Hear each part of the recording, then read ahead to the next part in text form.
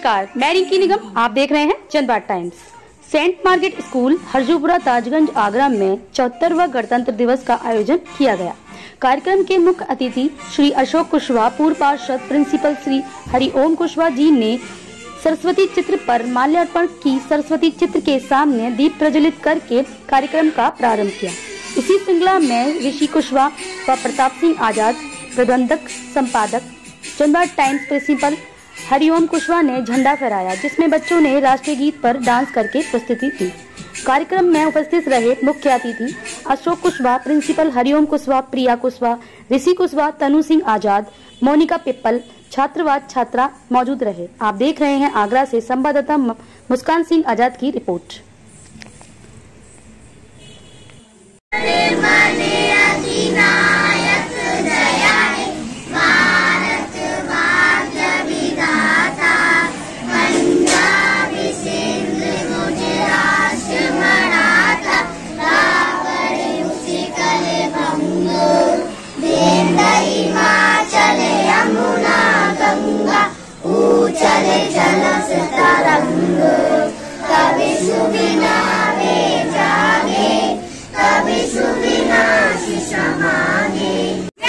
स्वतंत्र बोस की। भारत माता की। भारत माता की। हैं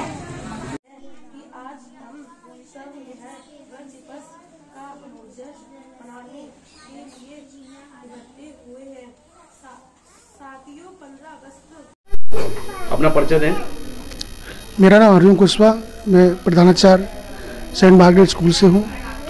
आज जो कार्यक्रम रखा है, कौन सा गणतंत्र दिवस मनाया जा रहा है, इसके बारे में जानकारी। आज हमारे देश का सेवेंटी फोर गणतंत्र दिवस मनाया जा रहा है, जिसको देश के सभी वासियों को चौहत्तरवें गणतंत्र दिवस की हार्दिक शुभकामनाएँ और देशवासियों को से एक ही अनुरोध करता हूँ कि इसको झंडे की शान को बनाए रखें।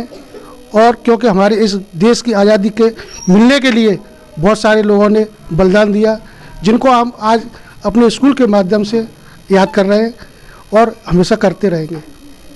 अपना परिचय दीजिए। मेरा नाम अशोक कुशवाहा है। मैं पूर्व पार्षद रह चुका हूँ।